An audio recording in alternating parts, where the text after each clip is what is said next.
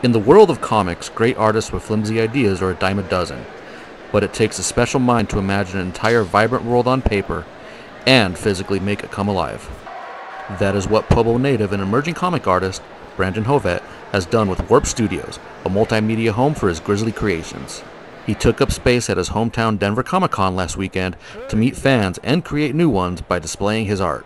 I, I want to create, when, when I started putting Worped Studios together and all these characters, I, that was really one of the first goals is I wanted to put together a creative property that would work good in all different media um, on all different levels. So I, I actually see it being a graphic novel. I also see it being uh, a movie or even possibly like a short mini series on, you know, let's just say like the Sci-Fi Channel, uh, maybe a smaller network. And Worped Studios could be a place where people can also physically buy the, the characters that they see on TV, uh, the characters that they would read about in the Decay uh, graphic novel or comic book miniseries.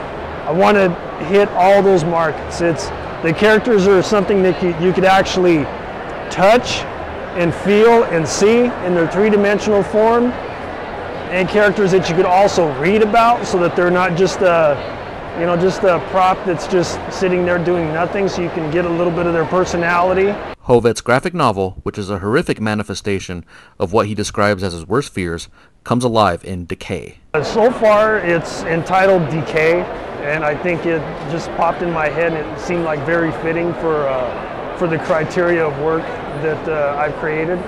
Um, it just encompasses around one character. He's in the military, retired, and uh, his daughter turns up missing. He ends up getting involved with the guy that kidnapped her, and, the guy that, is, that kidnapped her is uh, the uh, biochemist and scientist that created these arachnids.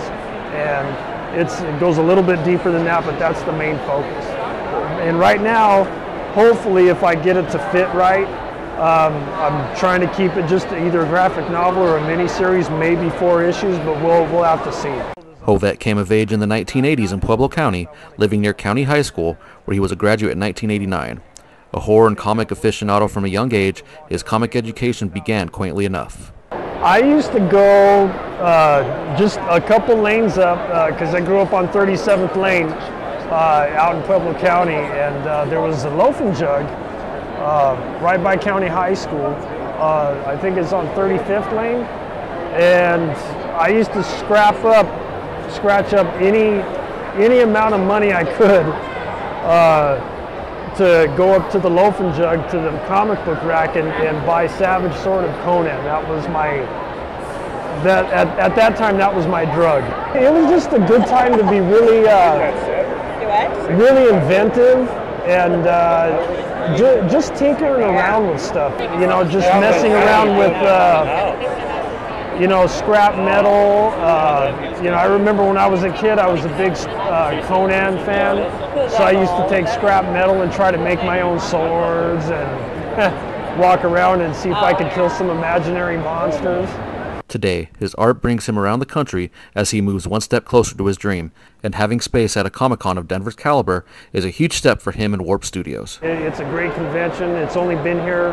This is its third third year, and uh, it's just gotten huge and it's doubled every year it seems like. Uh, and it has the same look and feel as uh, the San Diego Comic Con it's laid out the same. The aisle space is big. The people are great um, so I myself plan on exhibiting here in the years to come good these are amazing you are very talented thank you thank you very much I appreciate that there's a lot of talented people here but these are really cool. Their masks are pretty cool. Yeah. How's it going? Pretty good. How are you? Good. Uh, it's mainly geared for the haunt attraction industry, but yeah, you, once in a while you do get uh, a low budget film that's being made and they need something for the background.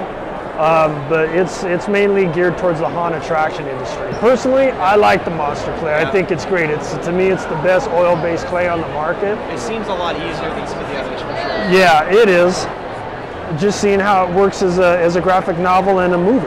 Yeah, that, that really is the ultimate goal to put everything together in this nice, neat little package um, and create, have a creative property.